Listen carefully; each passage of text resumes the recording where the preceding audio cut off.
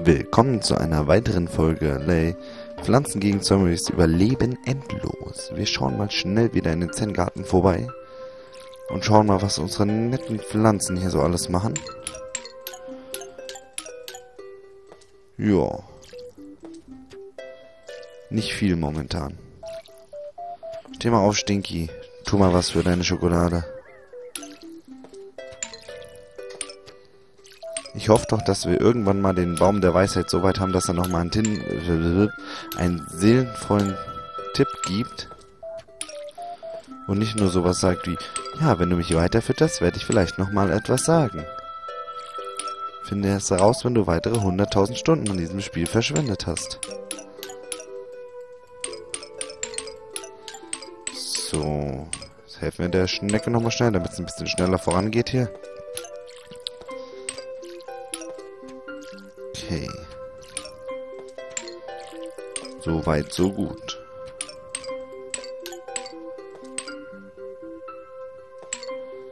Ach, Schnecke, du bist mir eindeutig zu langsam.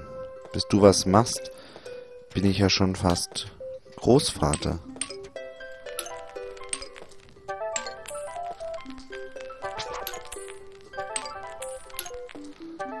Nein, ich wollte eigentlich hier den Dünger nehmen.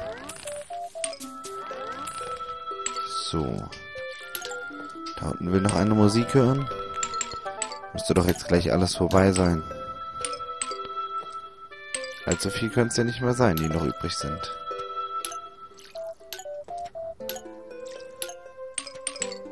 So, da will noch jemand Musik hören. Na, da haben wir aber ein sehr durstiges Exemplar da drüben. Und da ist die letzte von den dreien, die noch Dünger haben wollte. Noch ein paar Musikfreunde. Ich war schneller als du, Schnecke.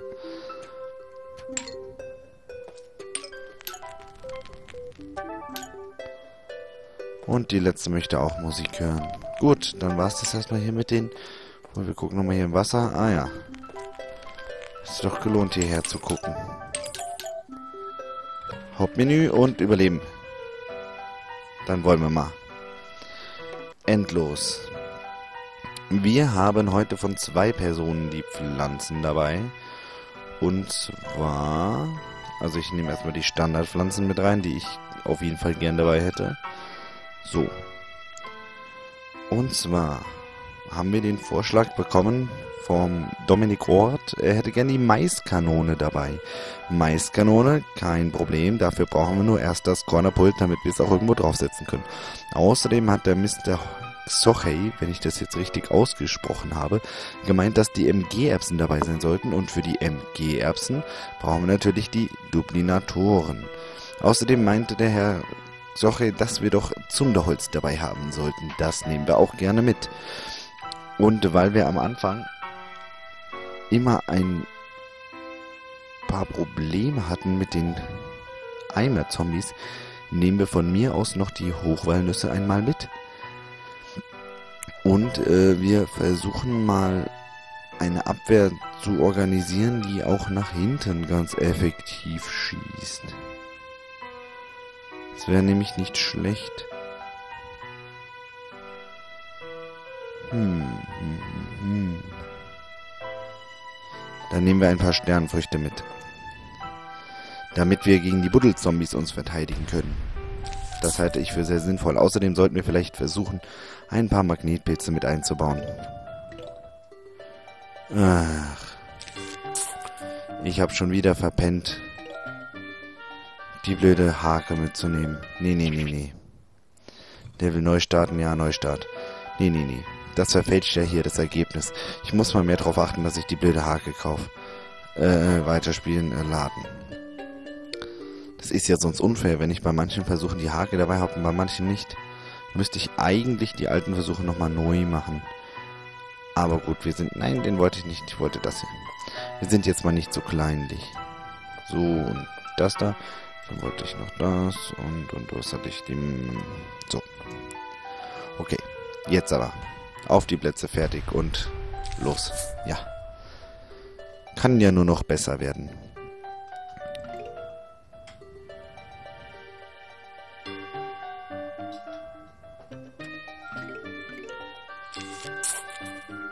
So. Jetzt kann der erste Zombie ruhig kommen. Ist uns ziemlich egal. Wir sind vorbereitet.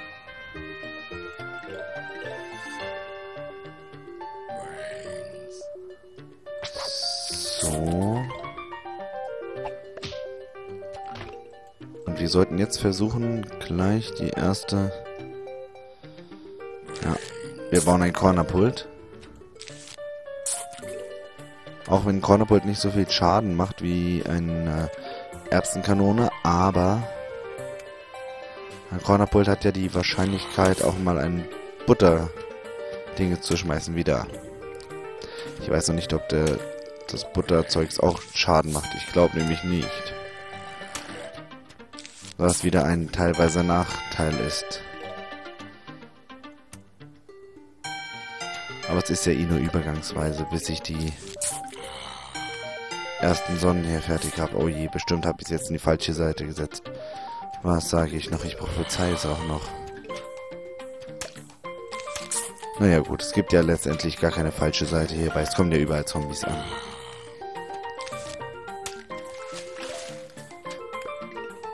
So, ich sollte vielleicht auf dem Wasser ein paar Sternenfrüchte setzen. Das wäre eine ganz gute Verteidigungsstrategie, weil die können momentan noch nicht angegriffen werden, weil da noch keiner unterwegs ist und können praktisch in alle reinschießen.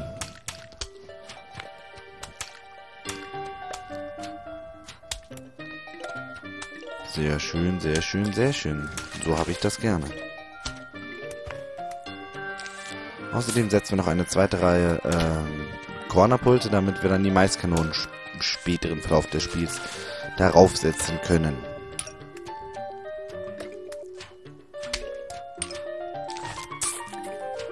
Wird schon schief gehen. So, wir versuchen jetzt mal auf die erste Doppelsonnenblume dann zu sparen. Sobald wir die, die zweite Reihe Mais komplett haben.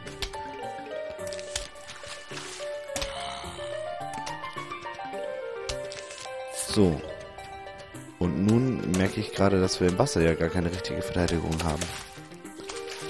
Wir haben zwar diese netten, freundlichen Geschütze, aber die bringen uns dann herzlich wenig.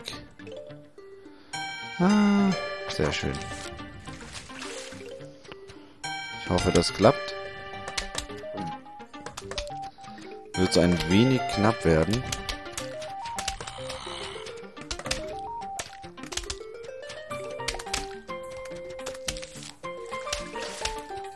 Schon. Verliere deine Körperteile. Ja, sehr schön. Genau so wollte ich das haben. Und die erste Doppelsonnenblume. Sehr schön. Huh. Bringt auf jeden Fall schon mal was. Seht ja selbst, wie schnell es damit immer geht. Äh. So. Als nächstes, genau. Verbessern wir mal die Verteidigung im Wasser. Und unsere erste richtige Welle in dieser Folge, was uns nicht am Gewinnen hindern wird. Obwohl man eigentlich in dieser Spielekategorie gar nicht gewinnen kann, weil es ja unendlich viele Horden Zombies gibt. Wobei ich mich auch wiederum frage, wo die unendlich vielen Horden Zombies herkommen. Also entweder haben Zombies in dem Spiel mittlerweile gelernt, sich fortzupflanzen, oder die Menschen pflanzen sich hier so rapide fort und lassen sich dann von Zombies fressen, was aber auch ziemlich dumm wäre. Aber gut, ich bin bisher noch keinem Zombie bewegt, be bisher noch keinem Zombie begegnet, also wissentlich. Aber ich kann mich auch täuschen. Mann, Kinder, was ist denn da los? Wofür bezahle ich euch denn? Mann, ihr sollt hier eure Arbeit machen und nicht schlafen. Natürlich sollt ihr hier die, die Zombies auch erledigen. Dafür seid ihr ja da. Und ihr schnorchelt hier rum.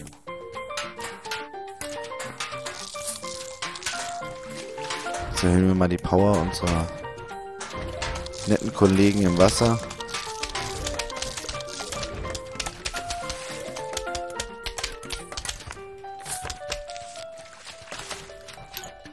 Power. Lade den Dynamo. Ach ja. Das ist aus einem alten, schönen Pinball-Spiel. Hieß, glaube ich, Pinball Creep Night. Ein Spiel von Sierra. Sehr schön, sehr schön. Zwar mittlerweile in den Augen aller total verpixelt, aber trotzdem ein Spiel mit Klasse.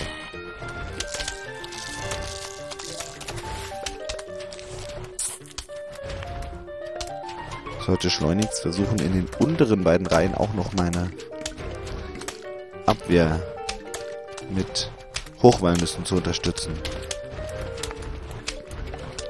Das könnte durchaus von Vorteil sein. Aber wenn wir schon mal dabei sind, können wir gerade mal in der Mitte noch unsere Verteidigung etwas aufpeppen mit der ersten MG-Erbse.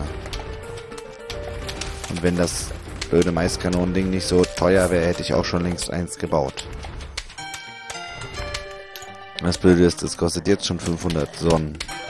Könnt ihr euch vorstellen, das wird immer teurer. Also allzu viele werde ich davon nicht bauen können. Was nicht heißt, dass ich es nicht möchte. Ich möchte viele davon bauen. Weil die wirklich ultra cool sind. Und je mehr man hat, desto leichter hat man es im Endeffekt auch. Aber der Weg dahin ist so steinig.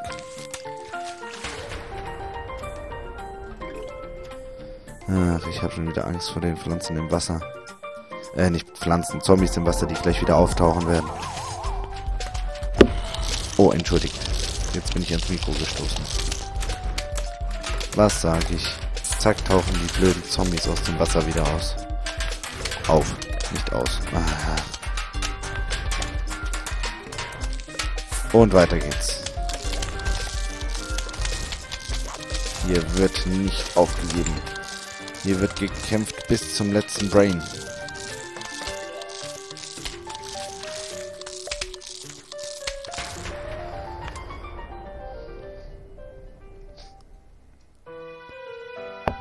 Zwei Flaggen geschafft. Wir machen jetzt direkt mal weiter. Und wieder einmal überheblich. So, so, so. Hochwallnüsse sollten wir auf jeden Fall dabei haben, weil auch die Delfinreiter jetzt dabei sind.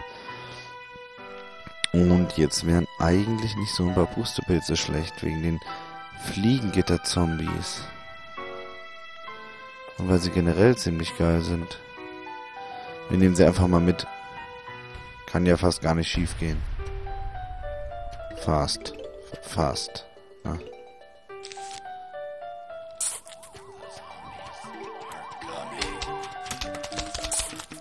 So.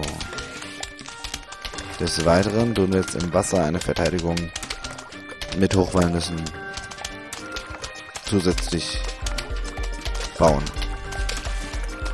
Ist nie verkehrt, prinzipiell.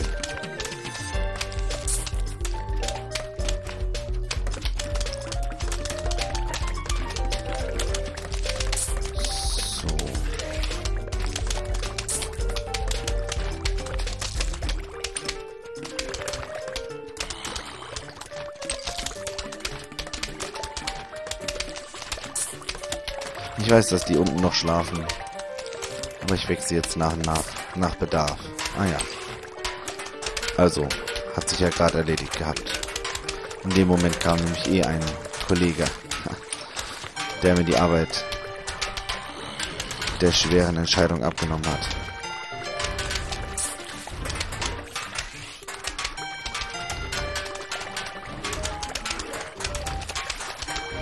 Jetzt hätte ich ganz gerne in der obersten Reihe noch einen Duplinator. Kommt schon? Sehr schön. Als nächstes muss ich in der zweiten Reihe von oben die Hochwahl muss wieder etwas ausbessern.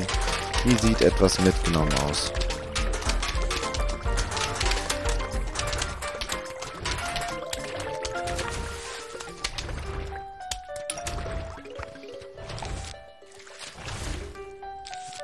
Mache ich das gerade mal. Dann kann sich derselbe nämlich aufladen. Und wir kümmern uns in der Zeit darum, dass unsere Pustepilze im Wasser auch mit von der Partie sind beim Kampf gegen die bösen Zombies. Juhu!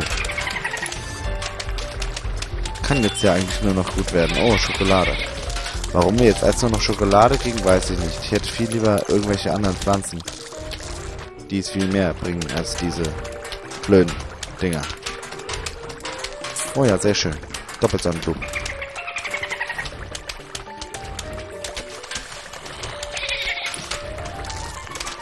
Ich hoffe, das bleibt so gut.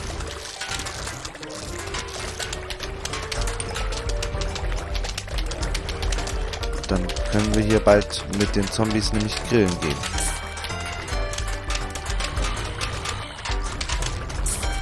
Wir sind jetzt mal so dreist und versuchen die Verteidigungslinien noch etwas weiter vorzutreiben. Mal schauen, ob wir damit Erfolg haben werden. Wäre natürlich äußerst, äußerst schön. Aber ich kann natürlich für nichts garantieren.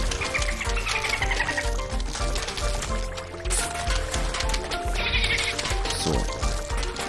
Das Gute ist, dass die Sterne nach links und nach rechts schießen.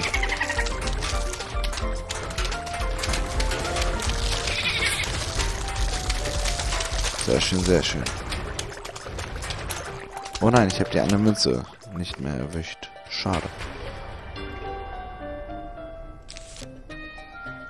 Nee, ich spare jetzt lieber mal. Vielleicht kann ich da nämlich noch eine vierte Doppelsonnenblume bauen.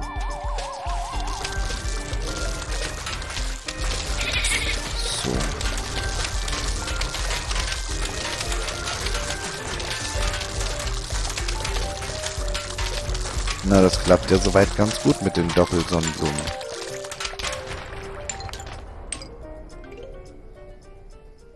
Hm. Schon wieder rum. Das war's auch schon wieder mit dieser Folge und wir sehen uns dann in der nächsten Folge mit genau diesen Pflanzen wieder. Bis dahin, tschüss!